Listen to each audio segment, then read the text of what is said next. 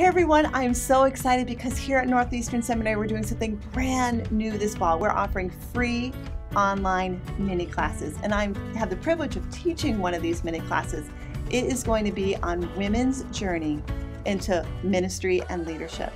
This is a class for women and men who are exploring this issue to understand why don't we have women in leadership roles?